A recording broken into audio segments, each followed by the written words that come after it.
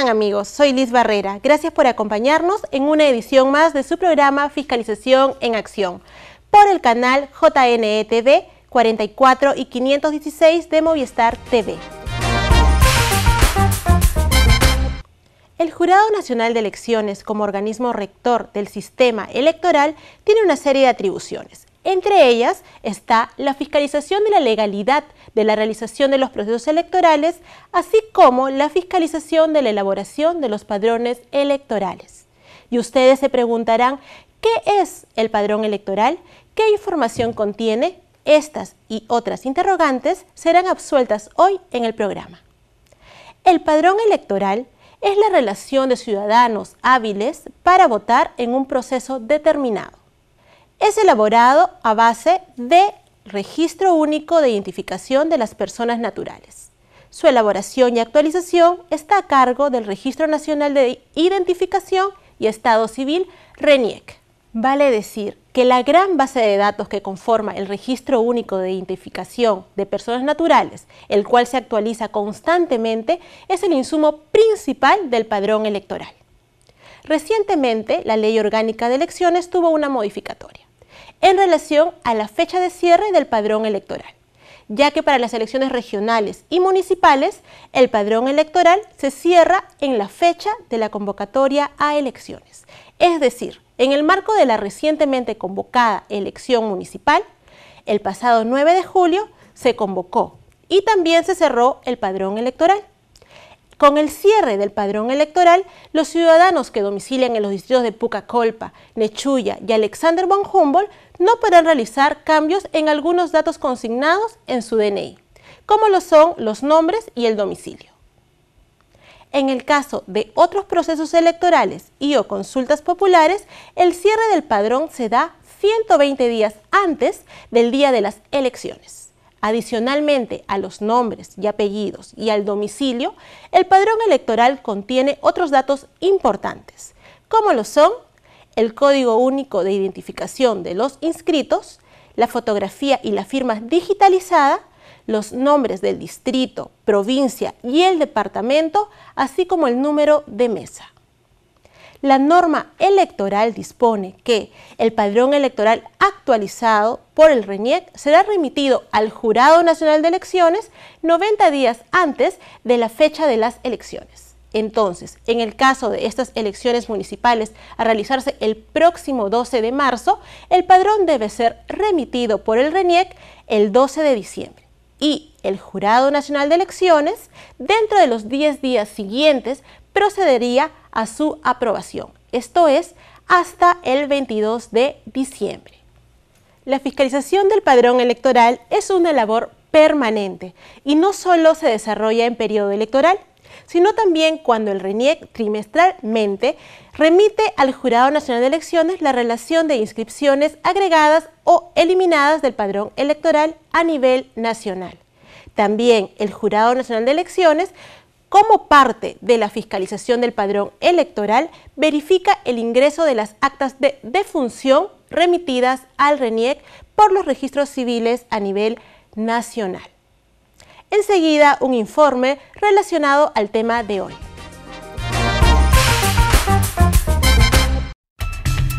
el Registro Nacional de Identificación y Estado Civil remitió al Jurado Nacional de Elecciones la lista del padrón inicial, actualizada en el marco del proceso electoral convocado para el 12 de marzo, debido a que mediante la resolución número 1043-2016-JNE, el máximo órgano electoral estableció un plazo de 15 días naturales posterior al cierre del padrón electoral, el cual se dio el último 9 de julio.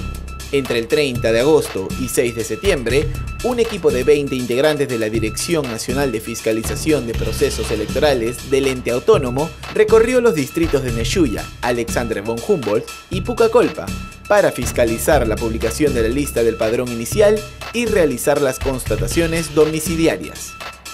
En el distrito de Neshuya se detectaron que de 866 ciudadanos fiscalizados, 39 fueron observados, en Alexander von Humboldt de 244, 28 y en Pucacolpa, de los 82 ciudadanos fiscalizados, se verificó que todos residían en el domicilio que indicaron. Asimismo, se obtuvieron cuatro copias de actas de defunción certificadas en original de los ciudadanos que figuraban en la lista de padrón inicial.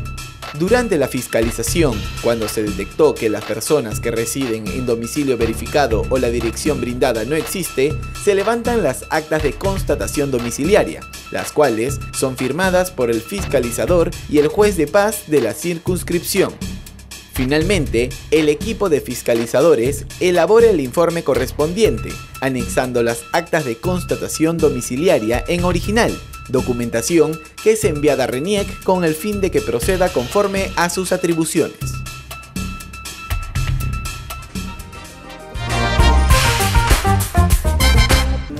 Continuando con el programa del día de hoy, nos encontramos con el ingeniero Álvaro Alayo Dávila, especialista en fiscalización técnica, con quien conversaremos sobre el rol del Jurado Nacional de Elecciones durante la fiscalización del padrón electoral. ¿Cómo estás, Álvaro? Hola, ¿Qué tal? Cuéntanos un poco sobre qué actividades realiza el Jurado Nacional de Elecciones en relación al padrón electoral cuando nos encontramos en un periodo electoral. La actividad que se realiza principalmente es la de fiscalización del padrón electoral. Esta consiste en eh, hacer la verificación de domicilio o la verificación también de los datos eh, del distrito, de los ciudadanos que están dentro del distrito eh, en el que se ha convocado la elección. Ustedes desde un primer momento fiscalizan lo que es el padrón electoral. tengo entendido que hay una lista de padrón inicial. Efectivamente, en primer lugar lo que se fiscaliza es la lista de padrón inicial, que es una relación preliminar de los, de, los ciudadanos eh, con la finalidad de buscar eh, indicios eh, de personas que no habitan de manera continua en la localidad. Esto, bueno, con la finalidad de disminuir la cantidad de posibles votos golondrinos que suelen haber. Y cuando un fiscalizador es asignado a una zona determinada para fiscalizar el padrón, ¿qué tareas desarrolla? Principalmente son tres las actividades que se realizan. La fiscalización de la lista de padrón inicial, en primer lugar, la fiscalización de la publicación de esta lista de padrón inicial y la visita a los registros civiles con la finalidad de encontrar eh, principalmente personas eh, que hayan fallecido y que, hayan, eh, que se tengan que retirar del padrón. Y cuando se realiza una, estas constataciones domiciliarias, ¿qué es lo que se verifica? cuando se convoca una elección, son, pueden ser dos actividades las que se realizan. La verificación de datos del ciudadano, esta se realiza en el marco de una elección general o la constatación domiciliaria, que es en el marco de una elección de revocatorias o eh, una elección municipal. Eh, para el caso de la elección convocada para marzo, eh, se va a realizar, por ser una elección municipal, la actividad de constatación domiciliaria. Esto, como dije anteriormente, consiste en verificar que las personas inscritas en esta lista de padrón inicial domicilen de manera habitual en el distrito en el cual están inscritas. Con la finalidad, como dije ya, eh, de eh, evitar los presuntos votos golondrinos. Ingeniero, cuéntenos, ¿y cuáles son los instrumentos que utilizan los fiscalizadores para realizar la fiscalización de padrón electoral? Bueno, a los fiscalizadores se les provee de unas fichas con los datos de eh, los ciudadanos a los que tienen que ir a buscar. En esas fichas están contenidos tanto los nombres, el DNI y la dirección exacta de las personas. Eh, la misión de ellos es llegar hasta la localidad en la que son asignados y en compañía del juez de paz hacer la constatación domiciliaria de estas personas. Eh, el juez de paz es una persona eh, que resulta en este caso de mucha importancia porque es quien da la certeza y la validez de la certificación del domicilio de las personas a quien se va a buscar. Él es quien certifica si las personas viven o no viven en la dirección en la que está eh, consignada en el RENIEC. ¿Y cuáles son los efectos o las consecuencias que traen consigo la fiscalización del padrón electoral? Eh, bueno, recientemente se ha eh, implementado un procedimiento, el RENIEC, que a las personas a quienes mm, se les detecte que no viven de manera habitual en el lugar y que han cambiado de domicilio de manera reciente, eh, son retrotraídos en caso de que no hayan logrado encontrarse en la dirección en la que tienen consignado, son retrotraídos hacia el distrito o dirección eh, inmediata anterior que han tenido eh, este, registrada.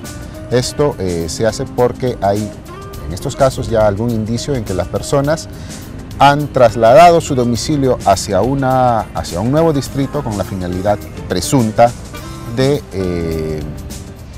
influir en los resultados de una elección.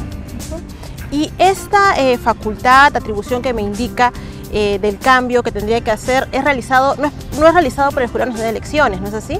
Efectivamente, nosotros como Jurado Nacional de Elecciones, eh, el área de fiscalización lo que hace es encontrar los indicios necesarios que puedan demostrar que las personas están haciendo un cambio domiciliario y estos indicios eh, son enviados al RENIEC para que ellos ya, conforme a sus procedimientos y sus atribuciones, puedan eh, aplicar la corrección que consideren.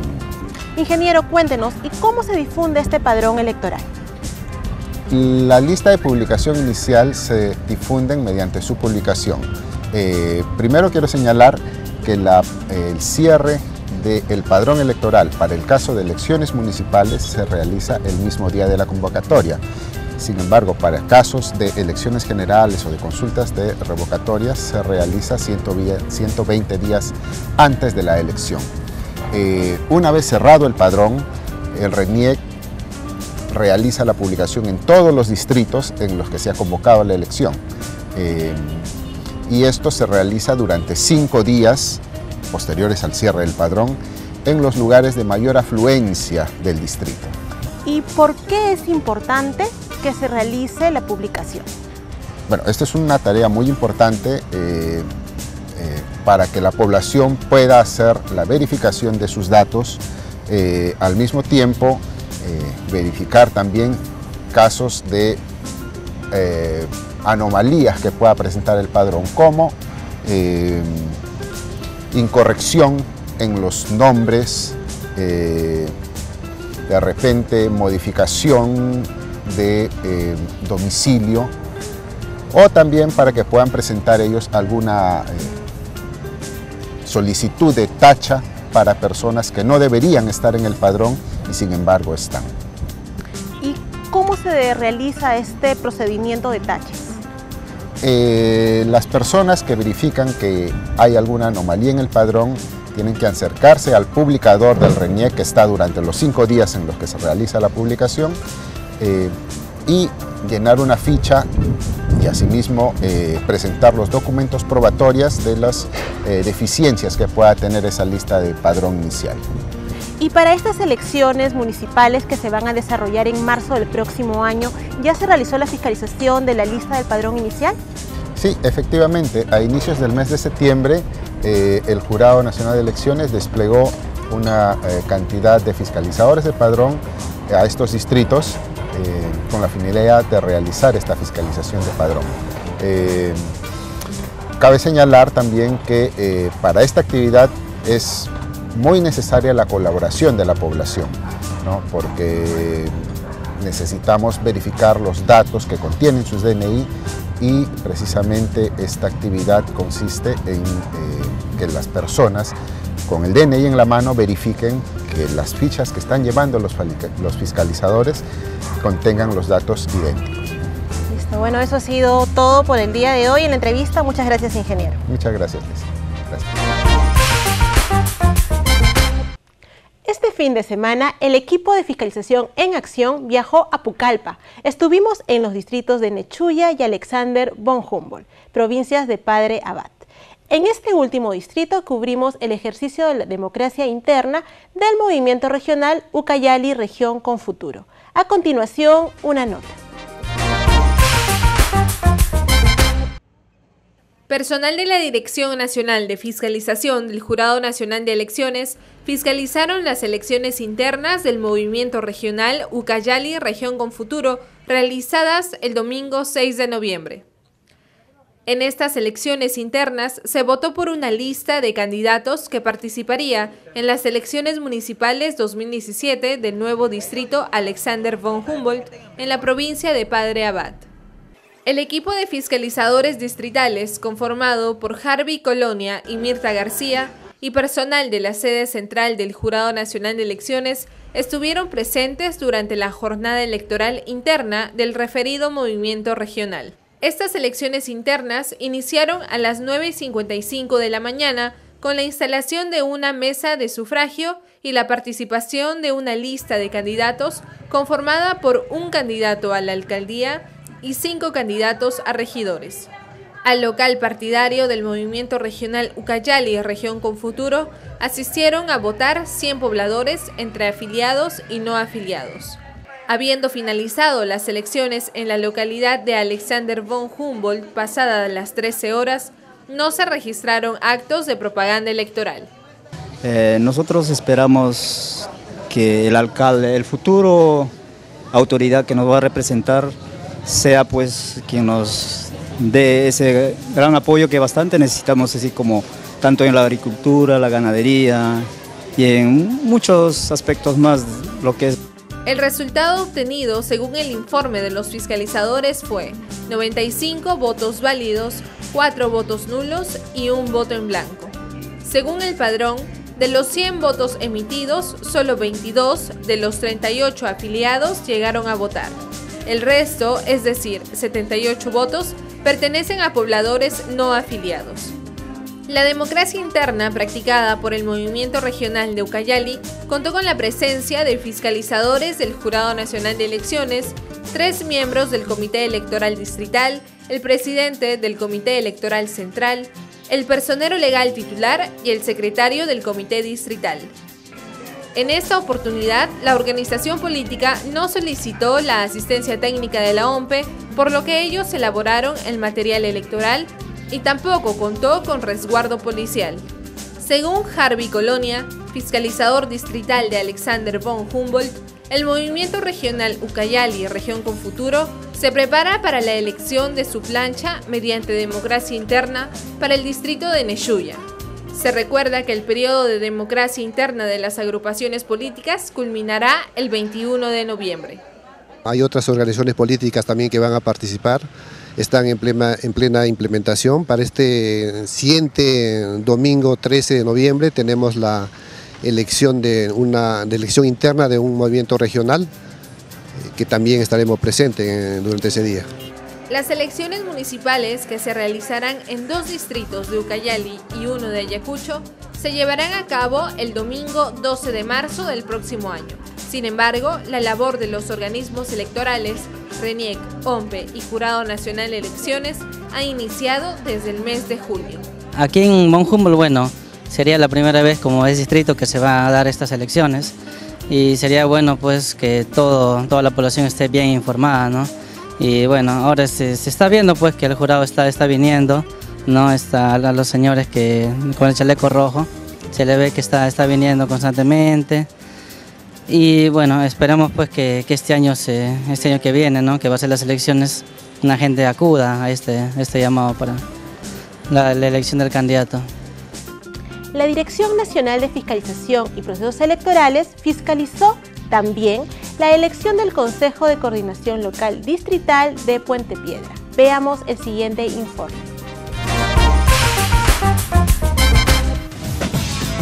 La Dirección Nacional de Fiscalización y Procesos Electorales del Jurado Nacional de Elecciones supervisó los comicios de los representantes de la sociedad civil ante el Consejo de Coordinación Local Distrital de Puente Piedra, realizado en el Instituto Educativo Augusto Beleguía. Al lugar acudieron dos fiscalizadores del máximo ente electoral, Percy Hurtado y Miguel de la Cruz, quienes presenciaron dichos comicios. Al iniciar la supervisión, los fiscalizadores encontraron una incidencia respecto al horario de inicio de las elecciones, ya que estaba previsto que comience a las 10 de la mañana hasta la 1 de la tarde, pero inició una hora antes de lo previsto. Comunicaron que el proceso electoral iba a realizarse de las 10 de la mañana a la 1 de la tarde y cuando nos hemos apersonado al local de votación, esto nos hemos dado con la sorpresa de que ha empezado a las 9 y va a culminar a las 2 de la tarde. Este hecho se está reportando, pero como es organizado por la municipalidad, entonces ellos tienen la, libertad de poder decidir los horarios. ¿no? Es, no afecta el proceso, el desarrollo en sí del proceso. Fueron 102 representantes de organizaciones de base distrital quienes se inscribieron para poder sufragar y escoger de entre 16 candidatos a 6 que integrarán el Consejo de Coordinación Local Distrital de Puente Piedra por una duración de dos años. Eh, en este caso, eh, el Consejo eh, elige un 40% de los representantes del Consejo Municipal. Es decir, que van a ser seis representantes de organizaciones sociales civiles de base, los cuales están inscritos y que bueno, los ganadores van a pertenecer a este CCLD. Al terminar la elección, los seis representantes que pertenecerán al Consejo Distrital son Luis Alberto Vélez Manso, Eustaquio Patricio Cuña, Luz Aurora Sánchez, Blanca Martínez, Hugo Morales, Lili Velázquez. Los ciudadanos del distrito de Puente Piedra esperan que los ganadores de esta elección puedan coordinar con el alcalde y sus regidores los proyectos dentro del presupuesto participativo de la municipalidad. Los dirigentes que ingresan hoy día tienen que comprometerse al trabajo mutuo y también este, comprometerse pues, el orden y todos, ¿ah? no, no solamente ellos, sino todos los dirigentes que representamos a Puente Piedra tenemos que poner el hombre pues, para el desarrollo, si no, no se puede. Y juntamente con el alcalde y todos ellos, regidores, todo en conjunto, o sea, para progreso de Puente Piedra, si no, no se puede. Y también capacitarlo. Cabe señalar que la Dirección Nacional de Fiscalización y Procesos Electorales fiscaliza las elecciones de los representantes de la sociedad civil ante el Consejo de Coordinación Local Distrital que solicitan su asistencia. La Dirección Nacional de Fiscalización y Procesos Electorales tiene programadas las siguientes actividades. El jueves 10 de noviembre, fiscalización de elección de representantes de la sociedad civil ante el Consejo de Coordinación Local Provincial en San Román. El domingo 13 de noviembre, fiscalización de democracia interna del movimiento regional Ucayali Región con Futuro en el distrito de Nechuya. Y en el distrito de Alexander von Humboldt, fiscalización de democracia interna del movimiento independiente regional Cambio Ucayalino. Finalmente, el martes 15 de noviembre la fiscalización de elección de representantes de la sociedad civil ante el Consejo de Coordinación Local Distrital en Miraflores. El día de hoy Fiscalización en Acción ha concluido. Nos encontramos la próxima semana. Gracias por acompañarnos.